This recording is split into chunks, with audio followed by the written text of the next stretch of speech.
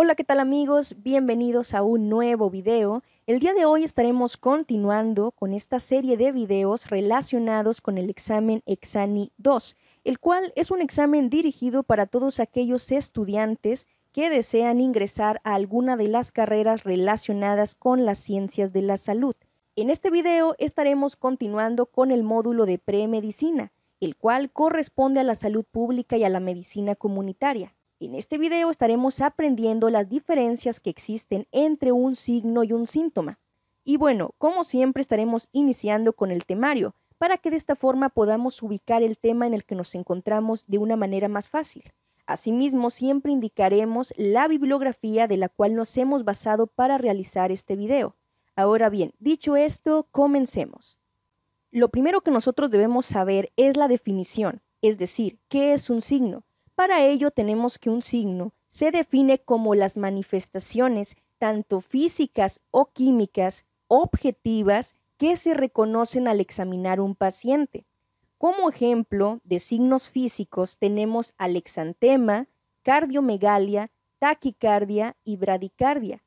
El exantema es una lesión que se presenta en la piel, la cual va a presentar una forma, una extensión y una distribución variable mientras que la cardiomegalia consiste básicamente en un agrandamiento anómalo del músculo cardíaco, el cual podemos ver y diagnosticar a través de una radiografía de tórax o un ecocardiograma.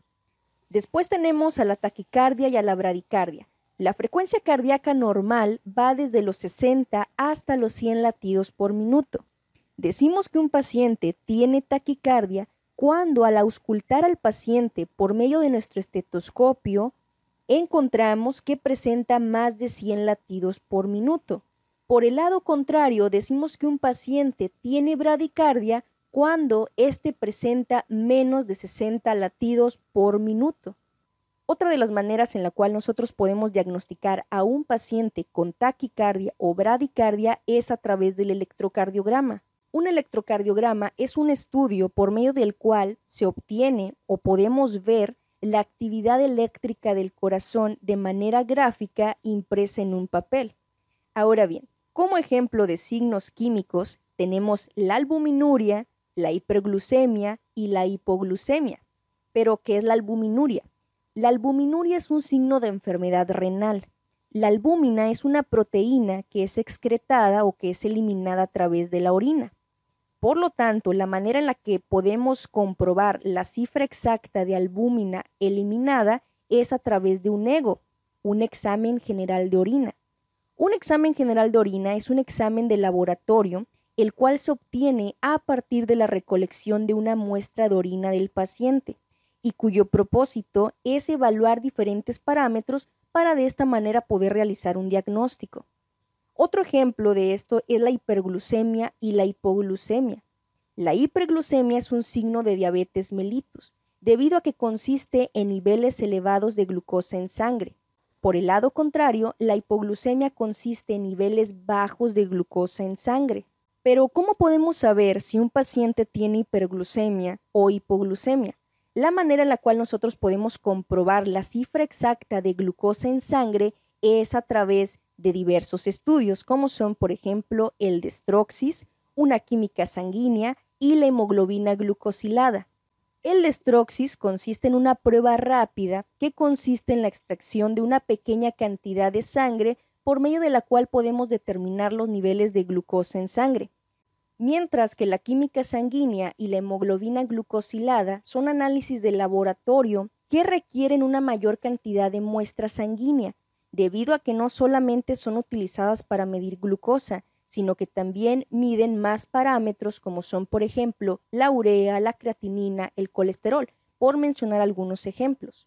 En términos más sencillos, tenemos que un signo en medicina es todo aquello que nosotros podemos ver y que podemos comprobar a través del estudio del paciente y que esto va a ser posible mediante la utilización de estudios de imagen o mediante la utilización de estudios de laboratorio. Ahora bien, vayamos con los síntomas. ¿Qué es un síntoma? Para ello tenemos que un síntoma se define como las manifestaciones subjetivas que el paciente experimenta y que el médico o la médica no suelen percibir o les es difícil comprobar y cuyo conocimiento llega a través del interrogatorio del paciente. Como ejemplo de síntomas podemos mencionar las molestias, las cuales son referidas por el paciente al realizar alguna actividad o algún tipo de malestar referido en algún momento del día. La presencia de dolor, que es también referida por el paciente, es denominado como un síntoma.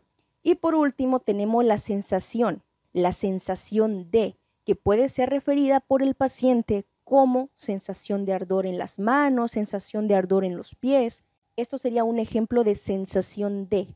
En términos más sencillos, tenemos que un síntoma son todas aquellas manifestaciones expresadas por el paciente, pero que éstas no pueden ser medidas. Esto vendría a ser un síntoma. Tanto los signos como los síntomas son muy importantes y esto se debe a que a partir de ellos es posible poder llevar a cabo un diagnóstico médico. Y bueno, hemos llegado al final de este video. Como siempre, les damos las gracias por acompañarnos en todos estos videos. En el próximo video veremos el tema de historia natural de la enfermedad. Y bueno, si te ha gustado este video, no olvides apoyarnos, dándole un like a este video, suscribiéndote al canal o compartiendo este video con algún compañero o compañera que también se encuentren estudiando para este examen. Sin más por el momento, me despido, nos vemos en un próximo video.